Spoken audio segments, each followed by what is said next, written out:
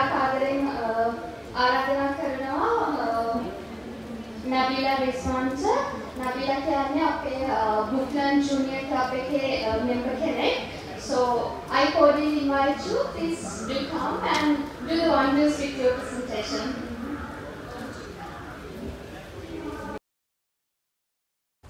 Thank you. Hello everyone!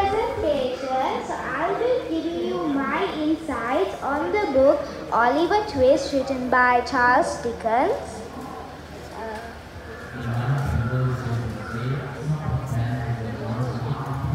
So let me introduce myself. So I'm Nabeela Rizwan and I'm the chairperson of Pickabook Bookland Buddies Junior Club.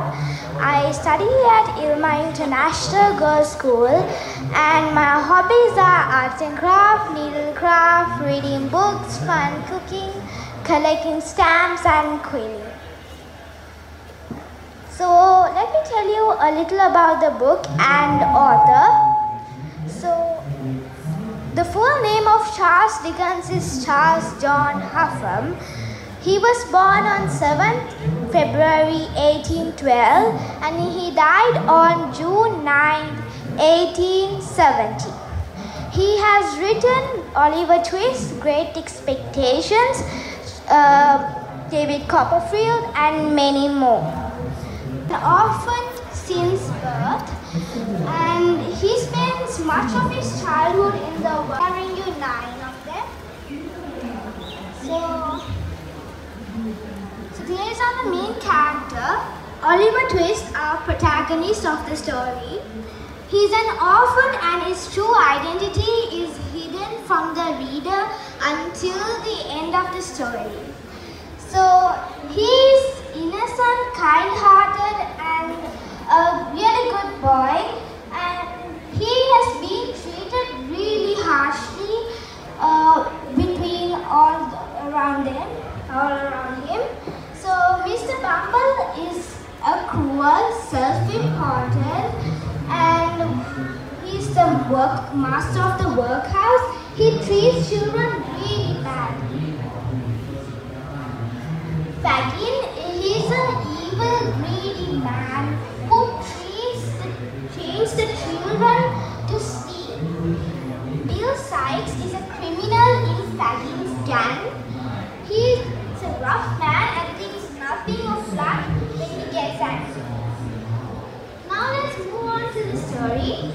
So, chapter 1 and 2. Oliver So, as I said before, he was an orphan since birth. So, after his mother gave birth to him, she died.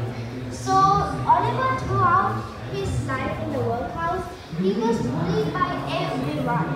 So, one day, all of the boys uh, set up Oliver to go and ask for more soup from the master. So Oliver asked for more soup. Like, please sir, can I have some more soup? Please. Then the master hits him with the spoon. Mr. Bumble shut him up in the dark for one week. Every morning he would take him out and beat him in front of all the boys. So one day, Mr. Bumble had put a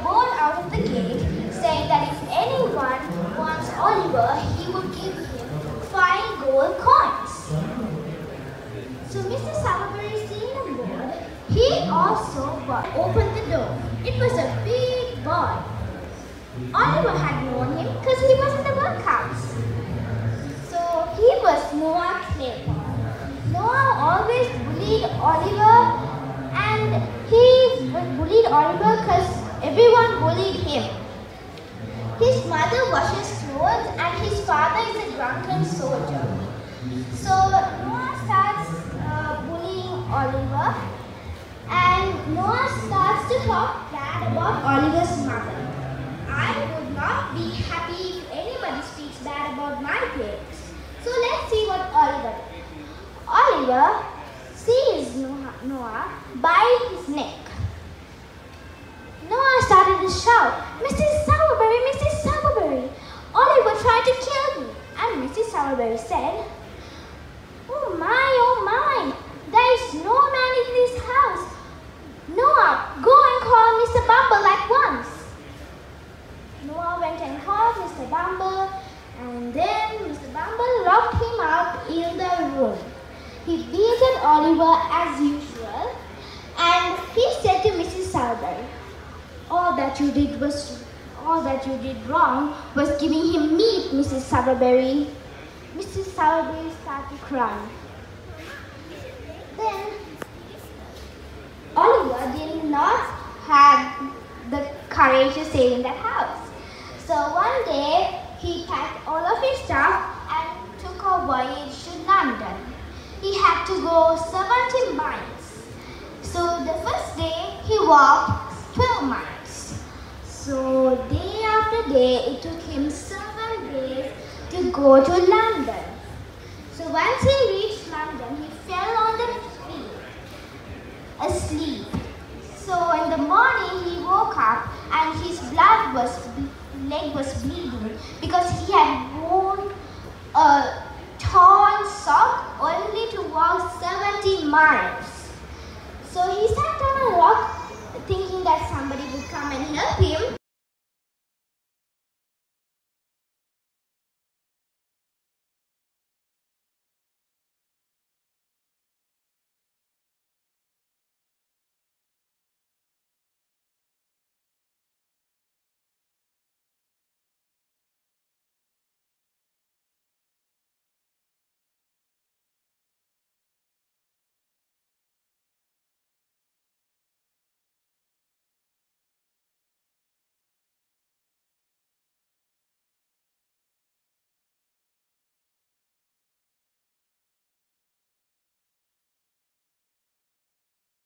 Food to eat and they went to the inn. In the inn there was a man, he was a quite old. So he was looking at Oliver very strange. He asked, Jack, who is this? Jack answered, This is a boy. He wanted to stay at a some place, so I brought him here. Then Fagin greeted him. His name was Fagin. He greeted Oliver. So Fagin gave him some food to eat and he, they, all of them went to sleep. So while everyone was asleep, Fagin took a box out of a pipe and Oliver just then woke up. Then Oliver was saying, what was it? When, there were, when Fagin opened the box, there was jewels, gold watches and rings, which was so much in that box. Then Fagin closed the box and saw Oliver sleeping. He took a knife and said, Did you see anything, boy? Did you see anything? Then Oliver answered, Yes, sir, I did. Fagin noticed that Oliver was a honest boy.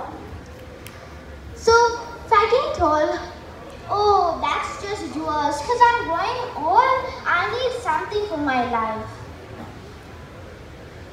So slowly and slowly, Fagin taught Oliver how to steal by saying that I'll teach you how to get marks out of the handkerchief. And he slowly taught him how to steal. So Oliver begged Fagin that, that he can go out, but Fagin told no. But when one day he sent Jack and Charlie, the boy who works for Fagin, with Oliver. So I'm sure they have a plan. So they went and they saw, Oliver saw Charlie and Jack taking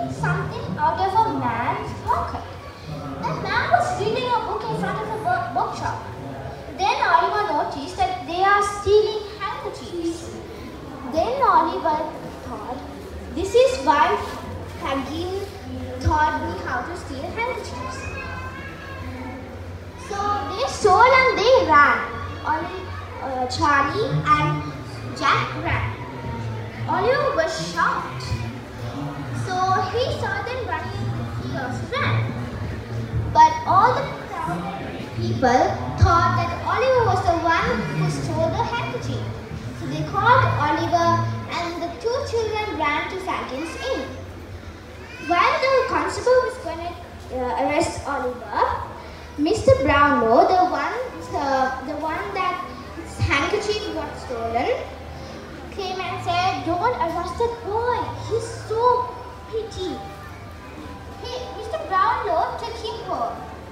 Oliver, because Oliver fainted. Oliver was ill for several weeks. One day, in Mr. Bedwin's room, he was staring at a picture in the wall. Oliver, Mrs. Bedwin says that he is similar to the picture on the wall. So one day, Mr. Brownlow sent Oliver uh, with some books to the bookshop and with five pounds and dressed him nicely with a new pair of shoes. So Oliver went because he had to return those books. He went and he was on the way he was going. Mr. Grimwig and Mr. Brownlow had a conversation. So Mr. Grimwig is Mr. Brownlow's friend. So Mr. Grimwig was talking very negatively about Oliver, saying that he would never return back. So just believing him, he will betray you and things like that. So when Oliver was going to the bookshop, a lady shouted and said, Oh my little brother Oliver, where have you been? Then, then Oliver knew that it was Nancy, a girl who worked for Fagin. Later on the story, she's very kind and truthful. So, behind Nancy, Charlie was there. So, they took Oliver along with them and Fagin was happy that Oliver had returned so that they can set up something so Oliver could steal it. So Bill Sikes, uh, he's um, a rough man. He is one of the huge criminals in Fagin's gang. He was planning to steal some stuff at a house at Chertsey. So Bill Sikes was uh, telling Toby, another boy, that uh, you have to spy on that house at Chertsey so that we can uh, steal. But then Toby told Bill Sikes that the, those servants over there would never do anything for us because they are very truthful for their owners because they have been working there for 20 years. So, next Fagin told Oliver to go see Bill along with Nancy. Oliver went and they were standing out of the house which they were, they were going to plan of stealing. And they were, side telling, you have to go inside that window over there and go and get the stuff we want. Oliver said, no sir, I can't do that. Bill Sikes told, if you don't do what I'm telling, I will shoot you at once. Then Oliver prayed to God and he went inside and he had a plan that whatever happens, he would go and wake them up and tell that Bill is trying to steal some stuff. So while, while Oliver was sent through the window, he had a lamp. So while he was going upstairs, the lamp, Bill knew that he was going to tell. So Bill said, Come back, boy, come back. Then Oliver got so frightened that he dropped the lamp and the servants came to shoot Oliver. And they all ran and they somehow took Oliver out of the window. And Oliver was also running, but then the servants shot him. So I will be ending here. So you should read the book to find out what happens to Oliver and this is so mysterious. So you have to read the book. So the key learnings from the book is we should always be kind-hearted and thankful, uh, respect and brave and always make new friends. So, next is question time. So, let's thank you everybody for listening to my presentation and I hope it was interesting and nice.